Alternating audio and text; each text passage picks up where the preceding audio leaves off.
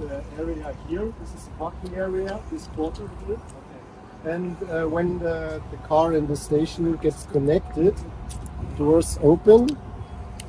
So this is your V3 third version of this so Yes, battery exactly, station. Exactly. So we are actually right now uh, 16 station open in Germany, and uh, a lot of other stations in Sweden, in Norway, and the Netherlands, and so on. So, but we are uh, still uh, growing. We are uh, our infrastructure is growing, still growing. So, and um, yeah, the car is appearing here. It's Okay. just uh, possible with the new Okay. or with the new brand. It's called zone. It's a new brand. Uh, this is also a swappable car. Yes, yes. So you are parking in this area. Yes. And you push the button that you press or the swapping procedure. Or it's uh, parking directly backwards in the station. So and, uh, when the car is in the station, the procedure, the swapping procedure starts. That means exactly. That means the gate on the front opens. Yes. There's a lift, and it's connected to the battery. 12 volts, and then release the wobbles, and um, now the battery. The battery going to the right side to a buffer position, Yes. and meanwhile there is a fully charged battery coming from this side and uh, going up to the to the left, Okay. and then yeah, the same procedure the other way around. Can, can we walk inside? Yes, of course you can. Please be careful with the rollers here. It's like you can slip on it. So the door below opens, and then from that side, a fresh battery pack comes in and goes up, and so it's 100% state of charge. No, it's uh, 91% Okay. because of the yeah.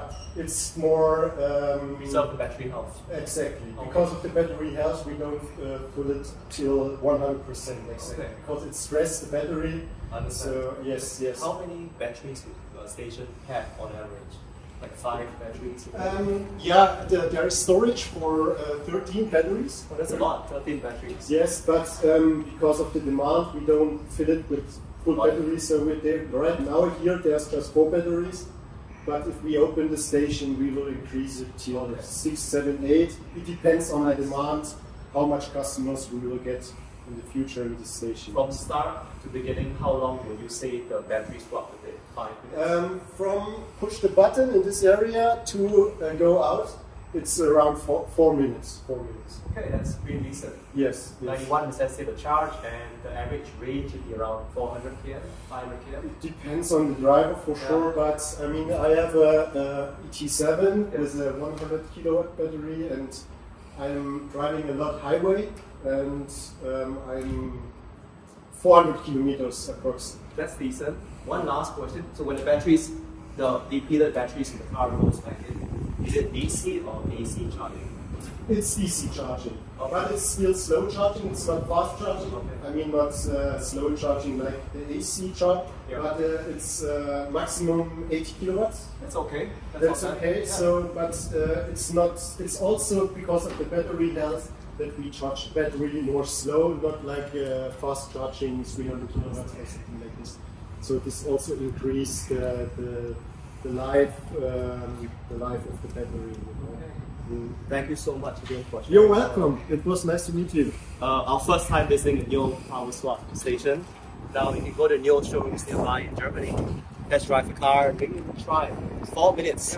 Go from fresh 91% state of charge battery, roughly about 400 kilometers range. Very, very cool experience here in Germany. Click subscribe to stay updated to more videos on EVs. The same.